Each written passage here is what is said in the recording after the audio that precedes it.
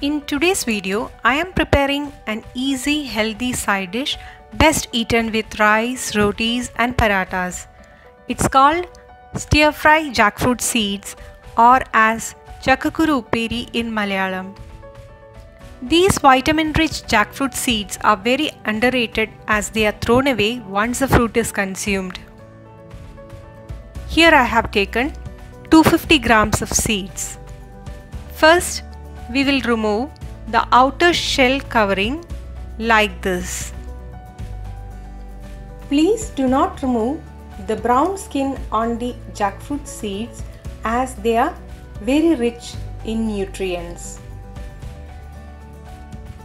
Then chop these seeds into thin long slices. This recipe calls for simple masalas like 1 teaspoon of turmeric powder, 2 teaspoons of salt, 2 teaspoons of coconut oil, 1 teaspoon of mustard seeds, a couple of dry red chilies, a few curry leaves and a teaspoon of red chili powder.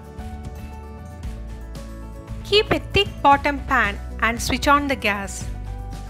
Add a glass of water and then add chopped jackfruit seeds.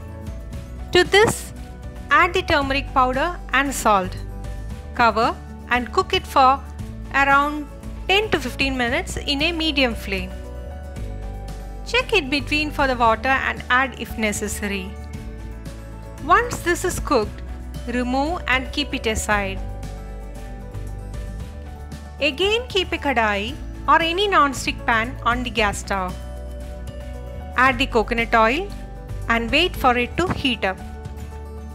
Once the oil is hot, add the mustard seeds, dry red chilies, curry leaves and red chili powder.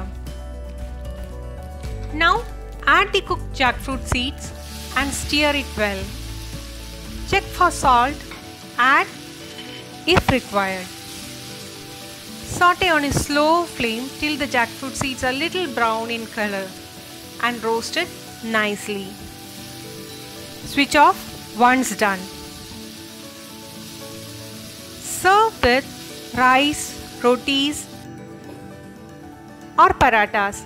This can also serve as a nice starter for any family get-togethers. Do write to me if you want any particular recipes. I will try to add these recipes in my upcoming videos. Thank you.